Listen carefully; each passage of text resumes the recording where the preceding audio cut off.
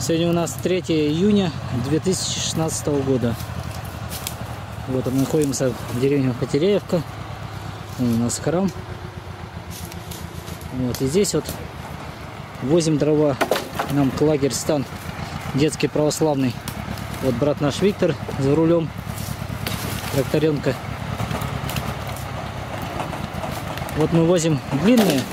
Это чтобы ребятишки в течение лета могли пилить их пилами. Вот. Сейчас будем загружать. Также мы здесь подкалываем между делом. Вот я подкалываю. Вот такие вот кучи дров у нас тут лежат. Вот так же по бортам. Ага. Вот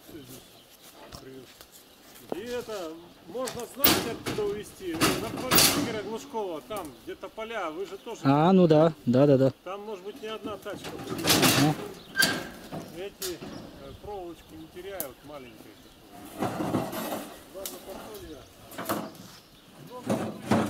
Ладно, брат. Ну все, слава богу. Вот такой сейчас красивый пруд у нас. Он наш слив.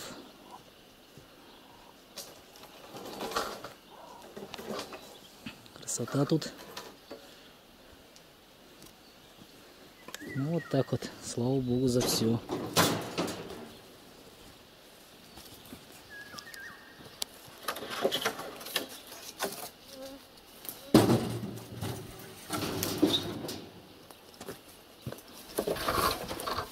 Ну, Брат Никита сразу развернул их камнями. Сейчас удобно грузить.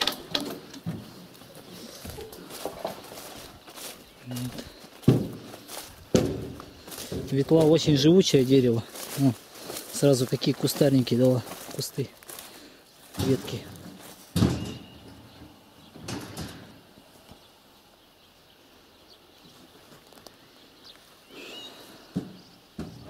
Слава Христу.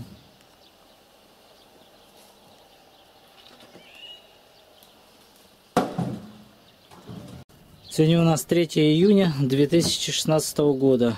Это уже вечер у нас. 7 часов вечера. Вон стоит наш брат Никита. С шариком он прогулялся.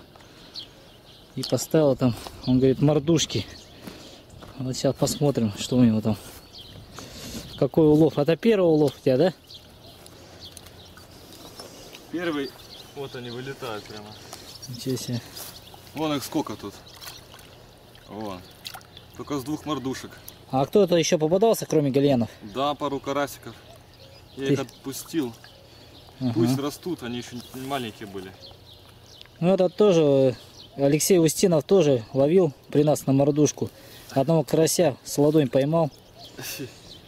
Вот он говорит, что тоже стал отпускать их. Да, видимо, вместе с карпами они попали туда. Ну, шалик не хочет их живыми есть. Коты, думаю, набросятся сразу. А вот еще коты. Но они тоже как бы немножко брезгуют, а потом съедают их. Смотри. А это не карасик, не? Где? А потому что карасик. Где? Нет, это гальянчик. Это гальянчик. Вон, выпрыгнул, вон. Смотри, в муку прям прыгает. Могу прям. Щас. Да, удивительно. Как они выросли-то, смотри-ка ты. В Их там много. Ну, Я подумал, мордушка она шевелится, как живая, там др др о, чувствую. И высыпаю прям, они сыпятся и сыпятся, как... надо было заснять это, конечно. Да, да есть. Ну, щас ладно. Стушить парочку можно будет. Ну да, тогда приготовь что-нибудь на ужин нам. Ладно, слава Богу. Как их? Да, вот так Господь дает улов какой изобильный. Слава Христу. Вот сегодня продолжение 27 мая 2016 года. Это я решил уже показать от нашего огородчика, где он там Никитой Колесниковым трудимся. Сегодня ветер у нас такой прохладненький. Вон видно, что тяпка работает. Вот, и я хотел показать одну радость, которую Господь нам дал, что наши труды не были. Мы садили много саженцев ветлы вдоль каждой дамбы. Вот одна из них это лагерный пруд. Утки летают. Такие упитанные красавицы. Все дыще да хвалит Господа.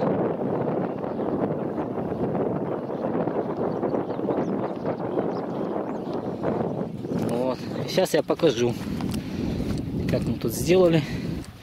Вот столбушок. Листочки показались. Перелезу. И вот такую нам Господь дал радость. То есть почти каждый столбушок начинает уже прорастать.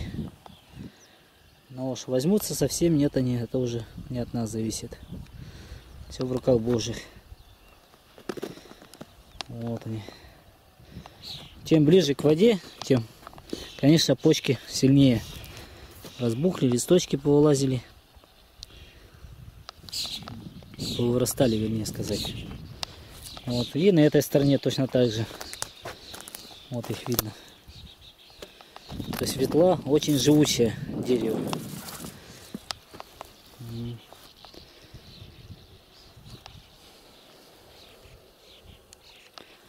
И вот так вот вдоль всей дамбы. Вот это вообще красиво смотрится.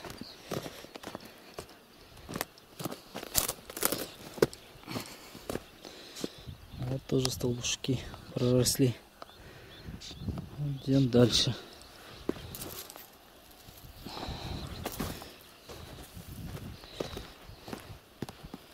Даже вот на этой стороне, как бы кажется, тут воды нету.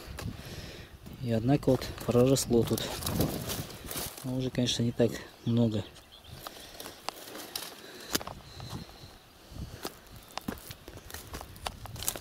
Так вот.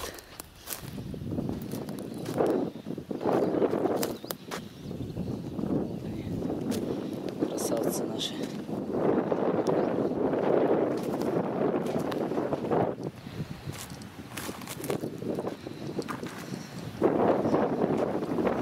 Кое-какие сухие стоят еще, почек не видно. Может и вообще не будет. Большинство в основном проросли.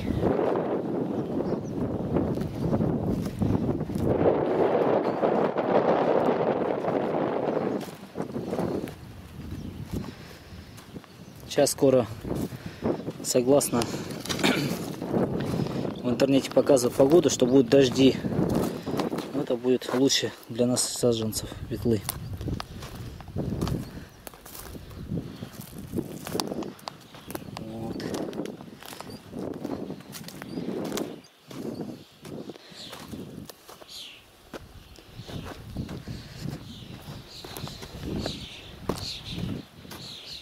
Здесь вот потихоньку пробегает водичка, все равно между досками немножко уходит.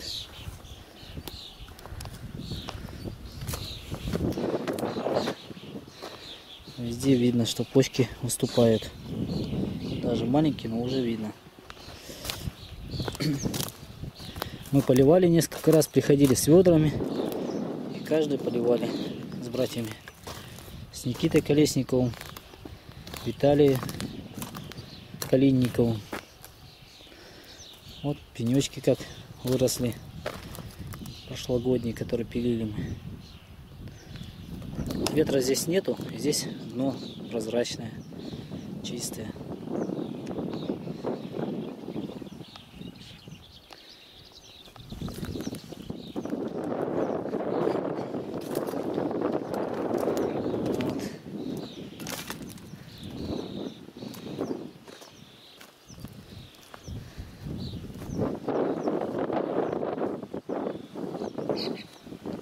Ну, вот так вот, слава богу. Красивые. Все, дальше я уже не буду показывать. Не видно, что прорастает.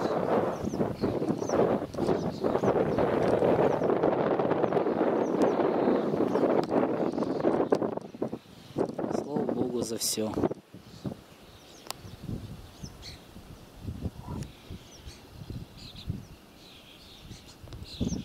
Чайка летит.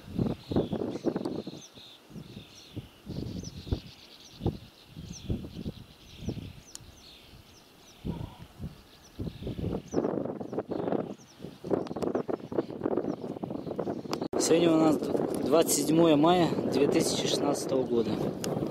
Там находимся деревня Потеряевка, лагерный. Тут у нас участок земли. Вот здесь мы с братом Никитой работаем. В данный момент, пока мы там возились с прудами, зас... ветлы делали саженцы. Березки заготавливали, 200 штук заготовили, 100 в лагере, 100 в барабашу. И у нас тут все заросло за это время. Одуванчик основной. Вон сколько семян будет. Но также мы сделали и грядки с ним. С Божьей помощью. Это у нас лук, морковка, свекла. Все это засыпали соломкой. Сверху немножко как бы перепорошили, чтобы влага дольше сохранялась. Также высадили помидоры. То у нас сколько получается помидор-то? Там последние 11 вроде, да? А тут 10. 71, 72 что ли? М. Или 80? Не, 80 нету тут. Раз, два, три, четыре, пять, шесть, семь. 71. 71. Вот, 71 куст. Тут у нас вот 4 грядки чеснока посажены. Одна сестра нам пожертвовала. Валентина из Нового. Вот тоже соломкой присыпали везде. Вот наш шарик. Шарик. А, шарик, да. Это верный наш друг. Он любит с нами погулять, да, шарик? Шарик. Ну. Давай, ложись, тенечек, тебе жарко на солнышке-то. Ну, вот так вот. Еще я хотел показать в дальнейшем, как у нас там пруды выглядят. Слава Богу за все.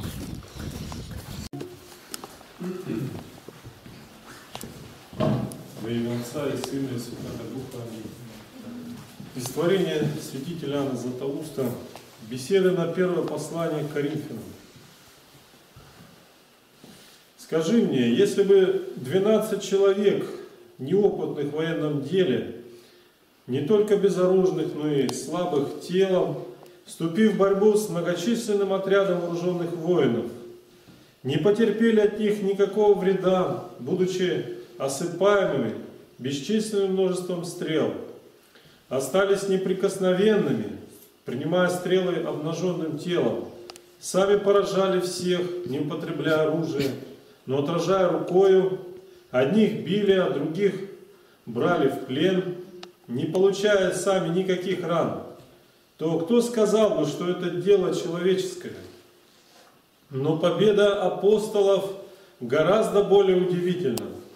Не столько удивительно, если обнаженный не получает ран, сколько удивительно, если простой, неученый рыбарь побеждает столь сильных, несмотря ни на свою незнатность и бедность, ни на опасности и закоренелые привычки, ни на строгость предлагаемых правил, ни на ежедневно угрожающую смерть, ни на множество обольщенных, ни на важность обольстителей. Так мы должны не злагать их и состязаться с ними, а прежде слов мы должны поражать их своей жизнью. Это великое состязание. Это не, неопровержимое доказательство от дел. На словах, сколько бы мы ни рассуждали с ними, но если жизнь наша не лучше их жизни, то не будет никакой пользы. Они обращают внимание не на слова, но испытывают дела наши и говорят, ты прежде сам убедись в истине слов своих, и тогда убеждай других. Если ты говоришь, что бесчисленное благо ожидает нас в будущей жизни, а сам поступаешь так, как бы их не было, прилепляясь к благам настоящим, то дела твои для меня сильнее слов. Когда я вижу, что ты похищаешь собственность других, без меры скорбишь об умерших и грешишь во многом другом, то как я поверю тебе, что есть воскресенье? Хотя бы даже они так и не говорили, но они думают так и содержат это в своих мыслях. Вот что препятствует неверным сделаться христианами. Будем же обращать их своей жизнью. Многие и неученые люди поражали ум философов, являя любомудрие в делах и громче трубы вещая поведением и любомудрием. Это сильнее слов. Если, например, я буду утверждать, что не должно помнить зла, а между тем буду причинять язычнику множество зол, то как могу привлечь его словами, когда отгоняю делами? Итак, будем уловлять их жизнью, из душ их созидать церковь и собирать такое богатство. Ничто не может сравниться с душою, даже целый мир. Хотя бы ты раздал бедным бесчисленное богатство, ты не сделаешь столько, сколько обративший одну душу. Великое благо миловать бедных, но не такое, как избавить кого-нибудь от заблуждения. Кто делает это, тот уподобляется Петру и Павлу. Подлинно можем и мы участвовать в их проповеди, но тем, не тем, чтобы подобно им подвергаться опасностям, терпеть голод, мучения и другие бедствия. Теперь мирное время, но тем, чтобы проявлять ревностное к тому усердие, можно и сидя дома совершать эту ловитву. Кто имеет друга, родственника, домашних, пусть делает с ними это. Пусть говорит им это, и он уподобится Петру и Павлу. Что я говорю Петру и Павлу? Будет устами Христовыми. Если извлечешь драгоценное из ничтожного, то будешь как мои уста, говорит Господь. Если ты не убедишь сегодня, убедишь завтра. Если никогда не убедишь, получишь полную награду. Если не убедишь всех, то, может быть, из многих некоторых. Ведь и апостолы убедили не всех людей. Но ко всем простирали свое слово и получили награду за всех. Бог обыкновенно назначает венцы, взирая не на конец подвигов, а на расположение подвязающихся. И если принесешь только две лепты, он примет, как он поступил с Давицею. Так поступает и с преподающими учения. Итак, из-за того, что ты не можешь спасти всю Вселенную, не пренебрегай немногими, и устремляясь к великому, не лишай себя малого. Если ты не можешь обратить ста человек, постарайся обратить десять. Если не можешь десять, не пренебрегай пятью. Если не можешь и пяти, не пренебрегай одним. Если не можешь и одного, и тогда не унывай, и не оставляй делать то, что можешь. Не видишь ли, как в торговле, занимающийся ею, заключает сделки не только на золото, но и на серебро? Если мы не будем пренебрегать малым, то получим и многое. А если пренебрежем малым, то нелегко получим и многое. Богатыми делается, собирая и малое, и многое. Так будем поступать и мы, чтобы, обогатившись всем, нам сподобиться Царствия Небесного, благодатью и человеколюбием Господа нашего Иисуса Христа, с которым Отцу со Святым Духом слава, держава, честь, ныне и присно, и во веки веков. Аминь. шарика перед косточкой. Косточка. Это нам Нина Васильевна Шадрина принесла сегодня жаркое с бараниной. И вот косточки мы поели мяской, остались косточки. И вот шарик сейчас, вот как ему нравится, вот он как. О, шарик Да, умница потанцуй, наш. потанцуй. Вот Тимур хорош. Еще. Молодец. На. Все, сейчас в первую очередь съест ее. Еще есть. Шарик, не торопись сильно-то, то подаешься. Надо было еще, да? Вот Всё. еще. Ну, шарик. А? Как тебе? Тут он уже умнее. Что танцевать? Давай сюда, да. Пора. А еще будешь танцевать? Смотри. Еще хрящик есть. Он, видишь, за хрящиком Ну да. находится. Ну, соображает. Шарик. Еще будешь? Потанцуй, шар. А? Шара.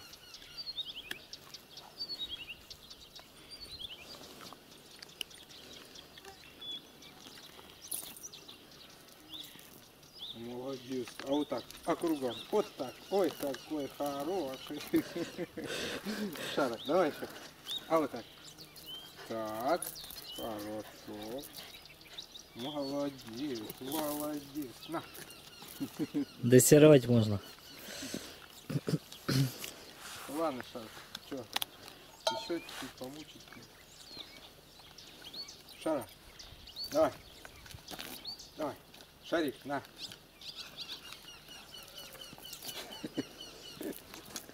Еще, еще. Друг, давай. Устал уже, видел. Все. Концерт окончен. Да, слава богу.